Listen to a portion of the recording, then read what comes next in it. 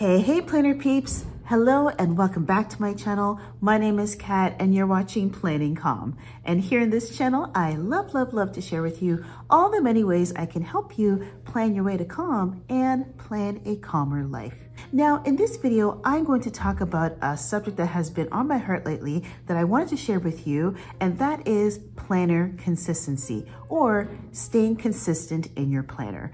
And I know a lot of us here in the planner community struggle with this. I'm here to show you how you can establish uh, planner peeps with my three main things or the three F's I say, or I like to say when it comes to staying consistent in your planner and ultimately leading to uh, planner peace, which then will ultimately, hopefully will lead to a calmer life. And I'm all about calm living on this channel. So um, to dive in, I'm gonna show you what I have and what I'm using currently as my planner setup. Now this is the common, the Passionate Penny Pincher Planner, sorry. I had cover Planner on my mind. This is the uh, Passionate Penny Pincher Planner, and this is my household planner.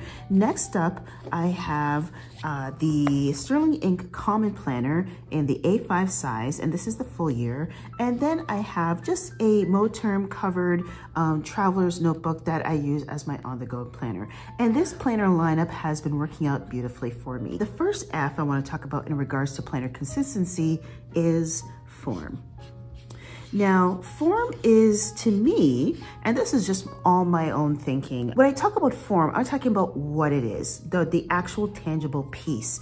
And so if I look at my traveler's notebook, now I took a lot of things out just for privacy, but I have, um, this is a, an example of form um, because of just how this is um, formulated, this planner's formulated. Now, it's an on-the-go planner, so I keep my, there's a lot of banging here. I'm filming after school. I apologize if you hear scraping and stuff.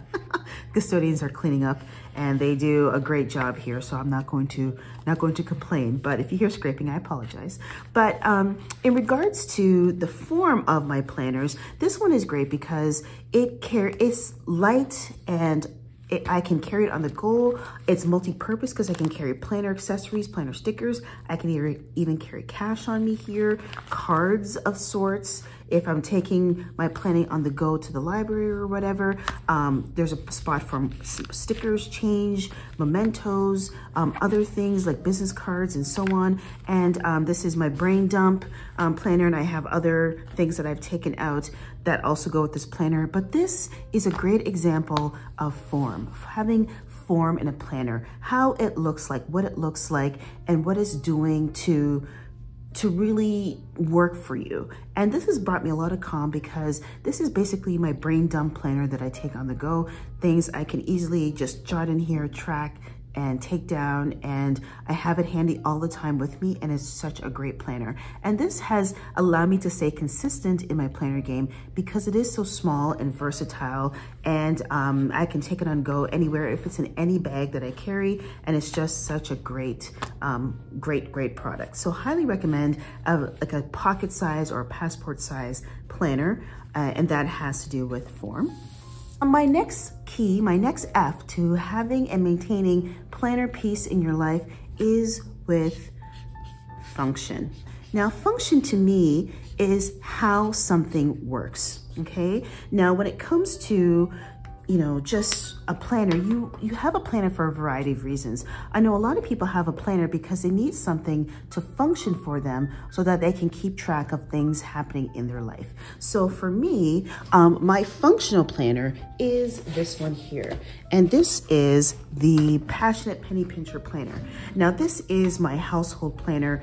It's the one that lives at home most of the time. And it really does do all kinds of duty. But if I look at January, I use this consistently in the month of January and it was great because it's on my desk at home.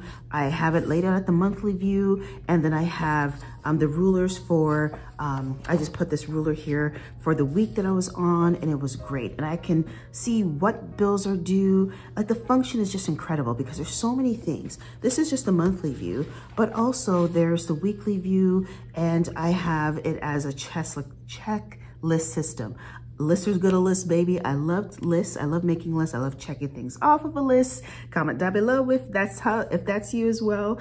But um, when it comes to those everyday life grinding, lifing tasks, I throw it in this planner. It functions well because it helps me to see what I have to do and allows me to check it off when I get it done. So it's just so wonderful.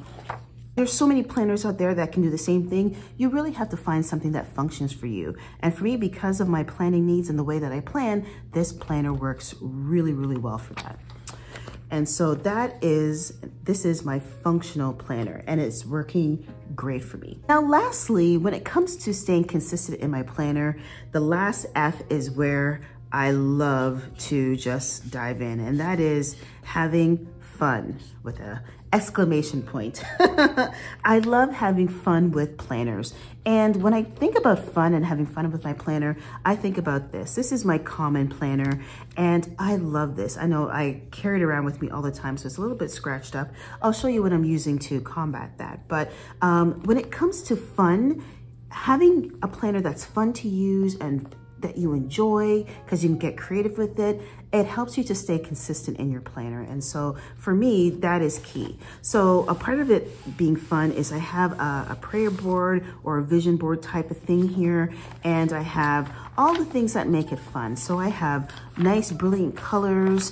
Um, so if I turn to like my month view, for instance, I have my month views with lots of color that I can just experiment and play around with, which is oh so much fun. I'm just absolutely loving it. And then I have the weekly view, which again, more color, more fun. I love stickers. Um, I'm trying to, you know, reduce my sticker usage and spending, um, but I have a lot of stickers that I love.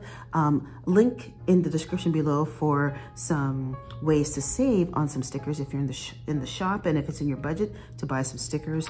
But just, I love this. This is a birthday spread um, that I did as part of a YouTube collab. So again, that fun, that fun aspect is in here. Um, I love this planner. I love having, um, experimenting with different things, different designs and colors and stickers and fonts and so on. It's just so, so, so great. I'm absolutely loving it. Having fun with your planners, finding planners that will function for your everyday needs and a planner that has the right form for the style that you want in a planner is my key to um, planner peace and staying consistent in my planner. And it's been working really, really well since the beginning of the year and I've thoroughly enjoyed it. This has been such a wonderful um, season in my planner game and it has allowed me to have fun with it. Um, it functions well and um, I've been able to stay consistent. So I hope you enjoy. I hope this video was helpful. If it was, don't forget to give this video a thumbs up and don't forget to tell me how you found um, or how you're able to stay consistent in your planner. I would love to know if you care to share. And until the next video, my friends, take care, be well, be blessed, and I'll see you all in the next planner video. Bye-bye, planner peeps.